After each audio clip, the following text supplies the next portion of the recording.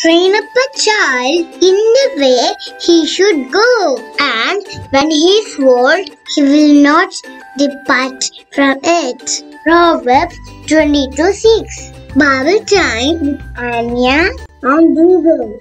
Hello everybody, I am Anya. Today I am going to tell a story. Wow!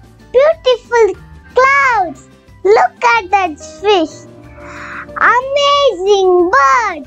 Can you guess which story today I am going to say? Yes! That is seven days of creations. In the beginning, God created the heavens and the earth. The earth has no shape and darkness covered the earth. God said, Let there be light, and there was a bright light. God separated the light from the darkness and called light day and darkness night.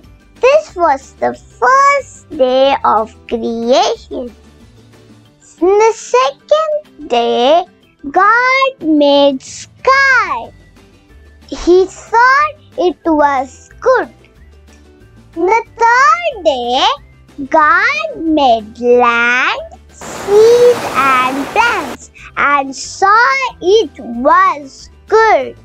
In the fourth day, God made sun, moon, and stars. In the fifth day, God made fishes and birds like octopus, shark, etc. In the sixth day, God made animals and man.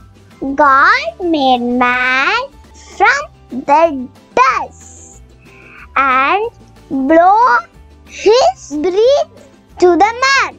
In the seventh day, God rested that all he had made. When we see the image, we should remember that God's love. Thank you.